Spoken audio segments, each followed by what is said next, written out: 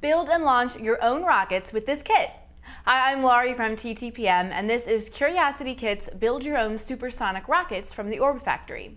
Kids can build an air-powered rocket launcher and send rockets flying up to 100 feet.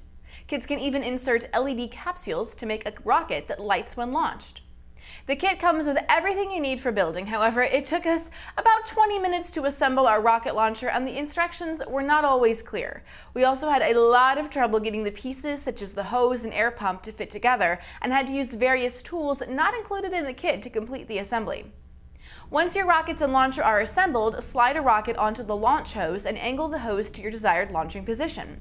Then stomp down with your foot on the stomp pad to send the rocket flying. The harder you stomp, the farther your rocket will travel. This kit offers simple and classic fun in a do-it-yourself format. We did have assembly issues and that wasn't a lot of fun, but once we got it put together, it worked well.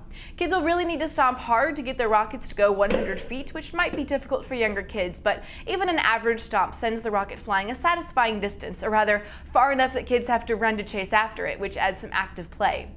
This is for ages 6 and up, and for more information and current pricing, visit TTPM and subscribe to our YouTube channel for more great toy reviews every day.